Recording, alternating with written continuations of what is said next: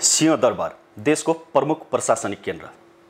काठमाडौँ उपत्यकाको बिच भागमा रहेको यस क्षेत्रमा प्रधानमन्त्री कार्यालय विभिन्न मन्त्रालय तथा अन्य प्रशासनिक कार्यालयहरू छन्। देश चलाउन आवश्यक नीति निर्माणदेखि योजना कार्यान्वयनसम्मका कामहरू यहीँबाट सञ्चालन हुन्छ। पछिल्लो पटकको चुनावमा अहिले सरकारमा रहेको कम्युनिस्ट गठबन्धनको नारा नै थियो गाउँ गाउँमा सिंहदरबार त्यही गठबन्धन चुनाव जितेर अहिले सरकारमा छ। आखिर कस्तो छ त केन्द्रीय सिंहदरबार? यो सिंहदरबारको दक्षिणी गेट हो जहाँबाट सर्वसाधारण र यहाँ कार्यरत कर्मचारीले प्रवेश पाउँछन्।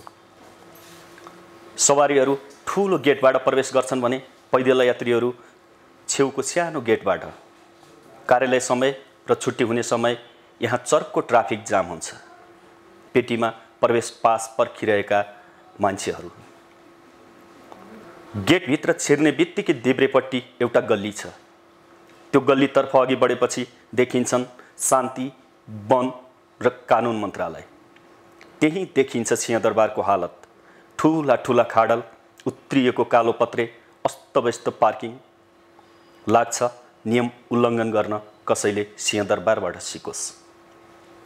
मन्त्रालयका भवन छेउका सडक हुन् या सडक पेटी जहाँ चार पाङ्रे गाडी र दुई पाङ्रे मोटरसाइकल प्रशस्तै पार्किङ गरिएका हुन्छन्।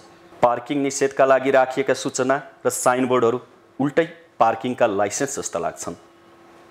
सूचना बोर्ड जहाँ जहाँ हुन्छन् त्यहीँ त्यहीँ हुन्छ अस्तव्यस्त पार्किङ। बरु पार्किङ स्थलहरू भने खाली देखिन्छन्। यो सिंहदरबारको पश्चिमी मोहडामा रहेको मुख्य भवन हो। जहाँ बहत्तर साल वैशाख बाह्र गते गएको विनाशकारी भूकम्पभन्दा पहिले प्रधानमन्त्रीको कार्यालय थियो। भूकम्प आएपछि करिब सवा सय वर्षको इतिहास बोकेको सिंहदरबारका अन्य भवनसँगै यो भवन पनि चर्कियो। सरकारले पुनर्निर्माणका लागि भनेर पुनर्निर्माण प्राधिकरणलाई जिम्मेवारी दियो। तर प्राधिकरणले भने रेट्रोफिटिङका लागि पटक पटक टेन्डर खुल्ला गर्दै र स्थगन गर्ने बाहेक माखो मार्न सकेको छैन। यसलाई भत्काएर नयाँ भवन बनाउनु पर्ने बहस पनि चल्दै आएको छ। जे भए पनि भूकम्पले भत्काएको यो भवन प्रशासनिक क्षेत्रको केन्द्रमा हुँदा पनि पुनर्निर्माण हुन सकेको छैन।